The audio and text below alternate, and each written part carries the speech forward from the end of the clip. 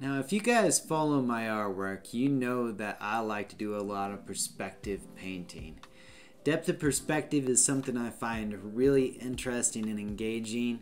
I think it mirrors a certain philosophical depth to it as well. We automatically connect with this really strong sense of depth in imagery. So it's something that I like to focus on. This next one is a great example of a one point perspective.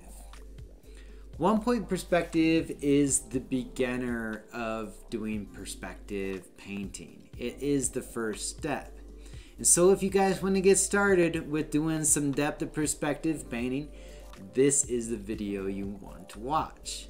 I don't start all my paintings with a mechanical pencil but when I'm working with more technical, rigid shapes and perspective, I can find it really useful to be thinking with a pencil.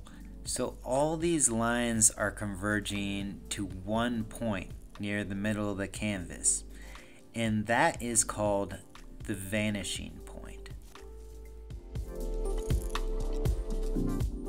am I trying to reach in the direction of going almost directly at you.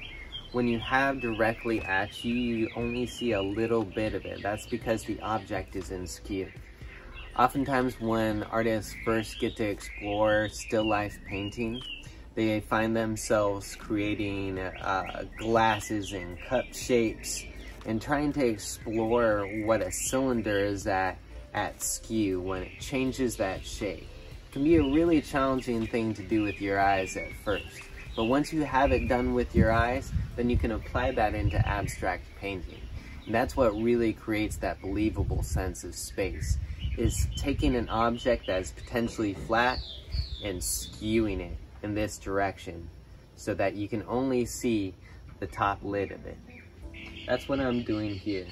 After I get done with a really solid drawing like this, I have multiple different choices and directions to go in when it comes to painting. If I want a painting that is overall brighter and more saturated with its color, I'm most likely going to start off with a glaze or a wash of that bright color over a huge portion of this canvas. Once I have that dialed in, then I can start glazing back my darks on top of it and it'll give it that impression that's still keeping those lights in there and it's still maintaining uh, the light of the canvas underneath it.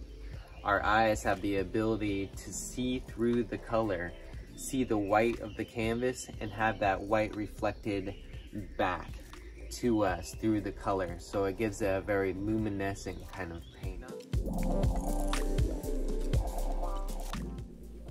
Now, I used a lot of water on this wash.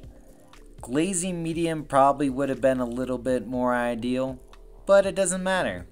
I'm transitioning this light fluorescent green into a light blue and thinly applying it over the canvas, spreading out as far as it can go so that it gets on semi-transparent.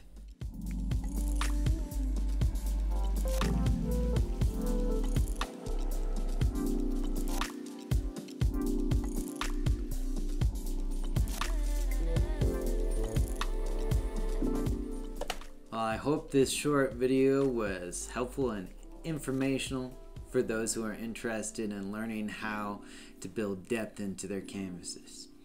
If you're interested in the whole thing, this one has some amazing nuggets of knowledge and it is in the links in the comments, so feel free to check it out. Also, like and subscribe so more people can see this art content.